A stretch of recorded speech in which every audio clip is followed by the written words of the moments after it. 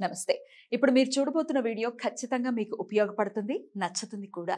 మరి మీకు నచ్చిన విషయం నాకు తెలియాలి అంటే ఈ వీడియోని మీరు లైక్ చేయాలి షేర్ చేయాలి అలాగే మన ఛానల్ని సబ్స్క్రైబ్ చేయాలి. మీ సపోర్ట్ని నాకు అందిస్తారు కదా? ఓకే. ఇప్పుడు వీడియోని స్టార్ట్ చేద్దాం. నమస్కారం. రేపటి విశిష్టతని ఒకసారి చూద్దాం. రేపు మూడవ తారీఖు ఫిబ్రవరి నెల రెండు వేల ఇరవై నాలుగవ సంవత్సరం శనివారం. శ్రీ శోభకృత్నామ సంవత్సరం ఉత్తరాయణం హేమంత ఋతువు. రేపు పుష్యమాస బహుళపక్ష అష్టమి తిథి సాయంత్రం ఐదు గంటల ఇరవై నిమిషాల వరకు తదుపరి నవమి తిథి. విశాఖ నక్షత్రం రేపటి రోజున పూర్తిగా. నక్షత్ర వర్జం మధ్యాహ్నం పదకొండు గంటల యాభై రెండు నిమిషాల నుండి ఒంటి గంట ముప్పై నాలుగు నిమిషాల వరకు. అమృతకాలం రాత్రి పది గంటల రెండు నిమిషాల నుండి పదకొండు గంటల నలభై మూడు నిమిషాల వరకు.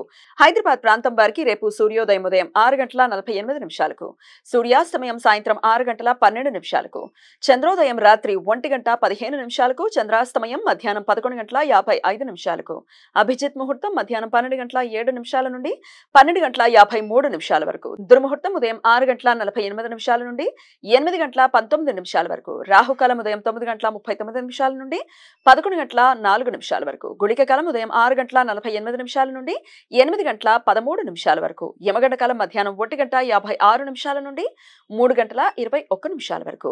రేపు త్రిశోష్టక దినం. వీటినే అన్వాష్టకాలు అని కూడా పిలుస్తారు. విష్ణు పురాణం ప్రకారం ప్రతి సంవత్సరం మార్గశీర్ష పుష్యం మాఘం పాల్గొన మాసాలలో బహుళ సప్తమి అష్టమి నవమి ఈ పన్నెండు రోజులని త్రిశోష్టకాలు అని పిలుస్తారు. ఈ రోజులలో గృహస్థులు తమ పూజా సమయంలో పితృదేవతలకు ఒకసారి నువ్వులతో తర్పణం వదలటం వలన వంశ వృద్ధి సంతాన అభివృద్ధి జరుగుతుంది అని నమ్మకం.